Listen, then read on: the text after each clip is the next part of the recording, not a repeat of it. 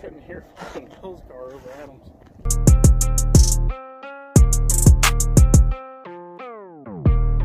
Thank you.